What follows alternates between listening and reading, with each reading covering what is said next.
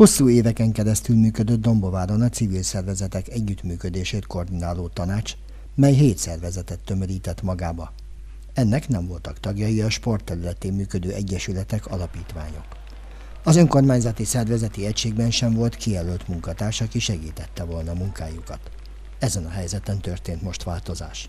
Amikor megszületett a döntés, hogy változtatunk ezen, és a civil tanácsnak két szekciót hoztunk létre, a sportolókat és a civileket, Nyilván a sportolók két heten megalakultak, önmaguk közül választottak elnökséget, majd elnököt. Azt gondolom, hogy nyitottságot várok. Egy olyan folyamatos párbeszédet, aminek eddig is meg lett volna helye, mi ennek szeretnénk teret biztosítani.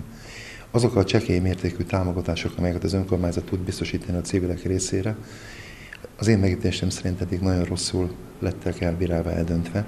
Tekintettel minden esetben a képviselőtestület nézegette és döntött róla. Soha nem kerültek meghallgatásra a civilek.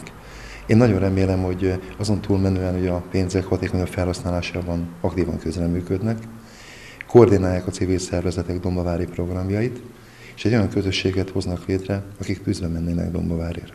Szeretném meghallani az igényeket, szeretném meghallani a dombaváriaknak a mindennapi problémáit.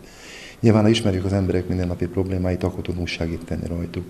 Ezért is hangsúlyozom, és az előbb is már elmondtam, abszolút nyitottságot várok, őszinte szót, és akkor egy hatékony együttműködés mentén sikeresen tud működni ez a szerveződés. A megalakult civil szövetség egyik legégetőbb feladata, hogy a pandémia miatt széthullóban lévő szervezetek újraépítkezésében segítséget nyújtson. A működéshez szükséges anyagi háttér felosztása is a sürgős feladatok közé tartozik.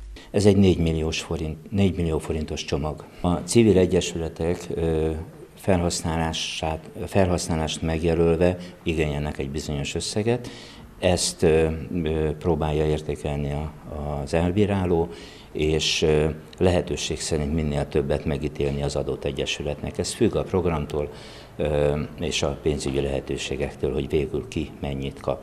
Igazából a civil szövetség tagjai a helyi dombovári civil egyesületek. Minden egyesület, aki bejelentkezik ebbe a körbe, önállóan jogosult részt venni ebben a munkába.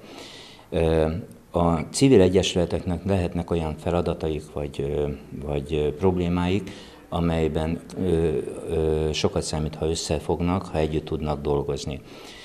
Nagyon sok egyesület egyébként különböző feladatokat, önkormányzati jellegű feladatokat is ellát, illetve átvállal. A folyamatos információ áramlás, az egyesületek közös munkája szükségessé is teszi ezt a szervezést, valamint, hogy ne az önkormányzat, ne a politika határozza meg például, hogy ki mennyi pénzt kap különböző feladatokra, rendezvényekre, általuk fontosnak vélt dolgokra, ezért a civil szövetség elnöksége, illetve a civil szövetség ad egy javaslatot az önkormányzatnak, majd az önkormányzat dönt lényegében a közpénzről, hogy melyik egyesület milyen támogatásban részesül. De maga a javaslattétel az tőlük származik. A szervezetek küldöttei Hosszú Sándort választották a tanács elnökévé. Én azt gondolom, hogy a Dombováron működő, illetve a Dombovárért tevékenykedő civil egyesületeket ugyanúgy összefogja ez a szövetség, ahogy az elmúlt években ugye a civil tanács. Én azt gondolom, hogy az elkövetkezendő három évben is azért fogunk működni, hogy a dombovári civil szervezetek munkáját támogassuk, illetve segítséget nyújtsunk, valamint szinergiába hozzuk a településen működő egyesületeket. Az a fő irányelvem, hogy az egyesületek egymás között is dolgozzanak, együttműködve, illetve Dombovárral, a dombovári lakosokkal is együttműködve dolgozzanak, illetve minél szélesebb spektrumba vonják be a helyi embereket az általuk szervezett rendezvényekbe. Dombováron 40-nél több civil szervezet működik. Hosszú Sándor azt mondja, ezek a szervezetek lefedik a város lakosságának minden rétegét és érdeklődését, vagy adott esetben segítséget nyújtanak a rászorultságok kezelésében.